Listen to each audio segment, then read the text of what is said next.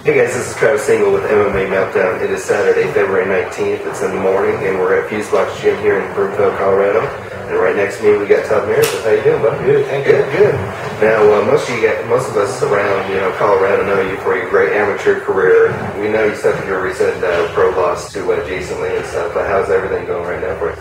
I'm good. Just taking some time off. Um, I got a medical suspension. I got to serve, so I'm kind of helping out with Garrett, who's fighting this next week on the fight to win card. I've, we've got other fighters trying out, so I'm trying to. I'm a coach in uh, middle school, so it's kind of fun to do the coaching side of everything right now when I don't have to worry about me as much right now. Yeah, so, exactly. So how's your health right now? Do you feel good? Yeah, I feel great. Oh, that's I'm good. I'm just kind of being precautionary. Yeah, exactly. Yeah, got to serve it, so Yeah. take it. Yeah, Yeah. take it easy.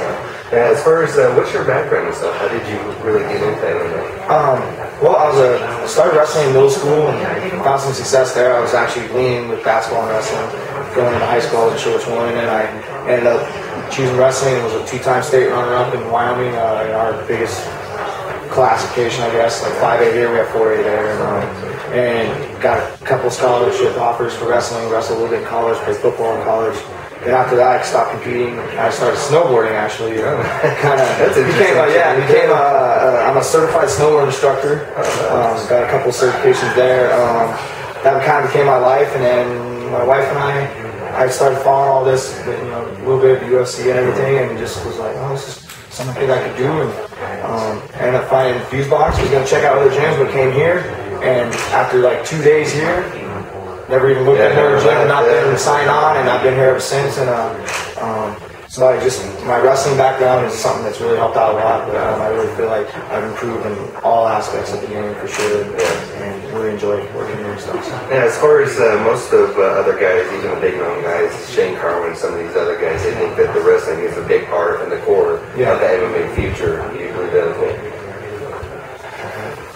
Question. Or, Um, or, I- or where are we at? We're Yeah, just I mean, I don't think you have to be a wrestler to be successful, obviously, but I know it's saved me or helped me a lot. Just you know, positions and the the mental game, and then the physical game. You know, like even when I started doing like the jiu-jitsu and the sambo stuff, I could feel from wrestling, oh, I'm gonna get into a bad spot, and I knew that just from that that sense from wrestling. Um, but I didn't know what was coming, but I knew something was coming. Yeah. So, um, you know, that helped out a lot. Um, and then just um, that just helps me. It's been helping me a lot. Yeah, it just helps you a lot. Yeah. And uh, have- obviously, you said you've been watching in the past. So there's some of the guys that you look up to and stuff, Um, either currently or even in the You know what's funny is I, I feel kind of guilty. Is I uh, I started jumping in on this when uh, I, I I was really into lifting weights and that stuff. And I did Muscle Fitness, and they had an article about Brock Lesnar. Oh, nice. uh, he was on the cover. I knew Brock because I, when I wrestled in college, he was actually at a tournament that I Yeah. went to.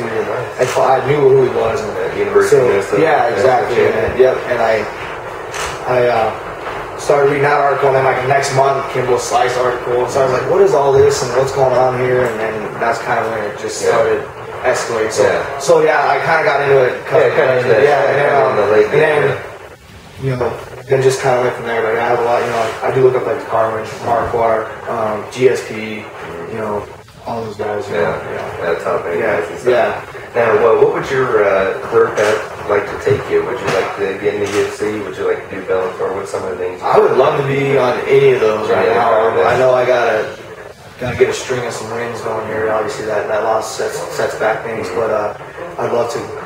Where I'm, I have no expectations right now with this. I'm, I'm a full time teacher. This isn't my livelihood. Yeah, yeah. Um, it's a nice little extra income or hobby, I guess. Yeah. Um, so, and I feel that takes a lot of stress of winning away a little bit. Like some people, like if I don't win, I don't eat. Thing, Yeah. where I, you know, that's not. where that's yeah. not the case. Yeah, so I can be out there and be relaxed and just have fun. Yeah. It, so. Yeah, is it a better thing to have that for you too, where you you know you don't have to concentrate on the life of that thing, where you don't have to have huge sponsors and stuff to be able to back your career? Is it a Um, lot easier on you personally? I think so. I would like to get up to that level though, and, and I would love to. Yeah, more money. Yeah, yeah, pocket. yeah, exactly. I would love to. You know, teachers aren't.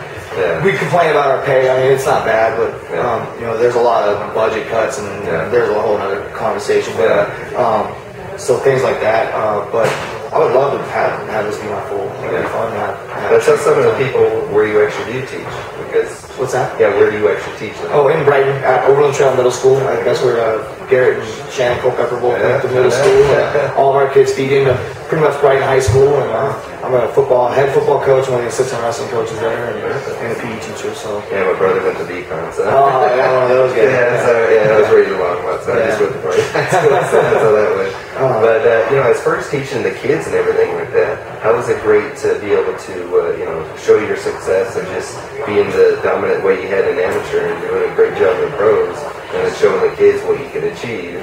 You know, Yeah, you stay on the straight and narrow. And you know, I, I try to use that as motivation. And a lot of kids are.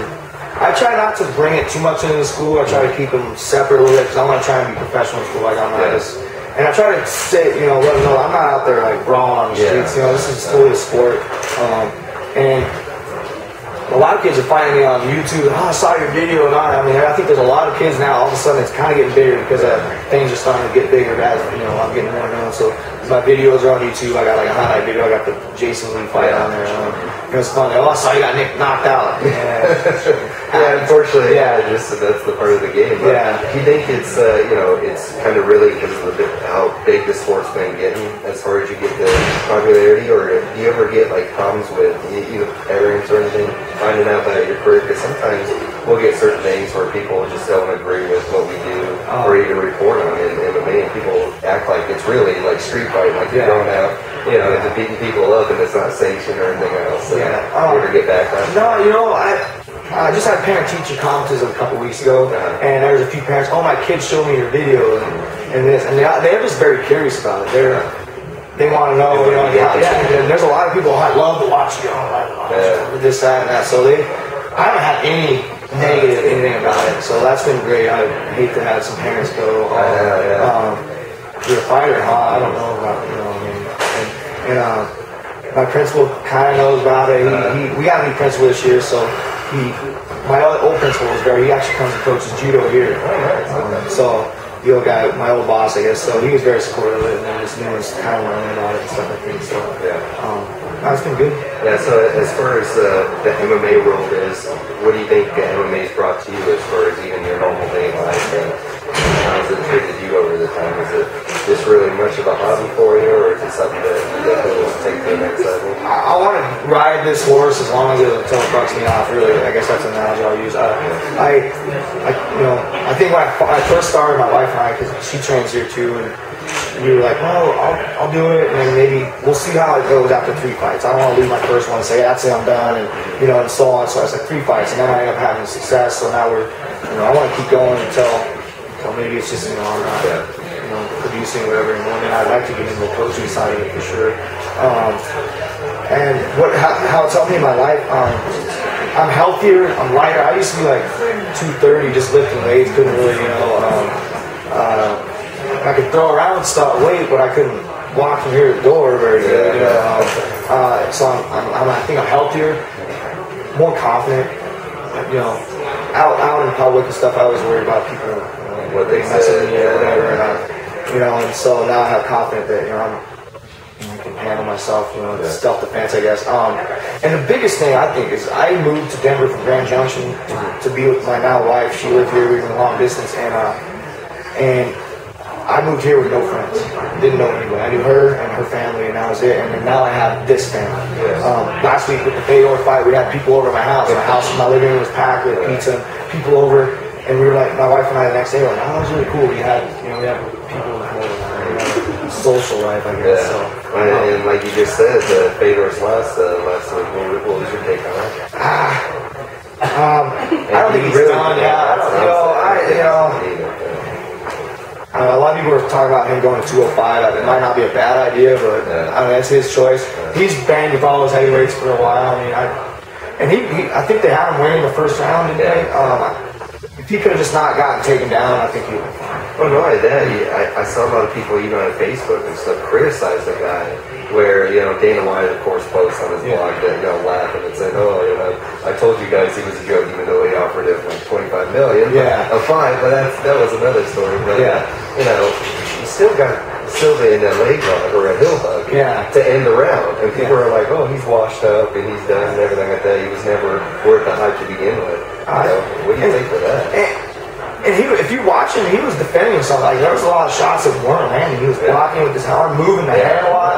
Um, you know, just some of those didn't land. I mean, the guy's hands are this big. Yeah. You know, they're gonna land. You know, Yeah, he didn't knock him out. I'll Yeah, that. no, he took a lot of shots and, and he defended that leg lock and then he got his own. I think Silva's foot might have been too big. for- Yeah, I know, yeah, they call him Bigfoot for a reason. Yeah, and uh, exactly, you know.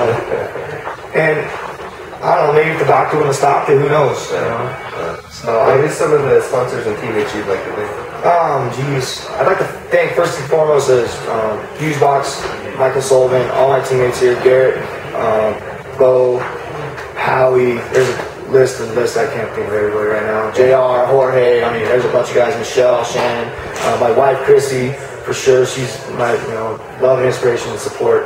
Um, and you know, Foose Inc. is a good friend of mine. Brandon Foose helped me out get these shirts, banner for my last fight. Um, Clyde Consulting, who's a, a high school wrestling teammate of mine. Um, uh, Defy CrossFit, which is down the street over here.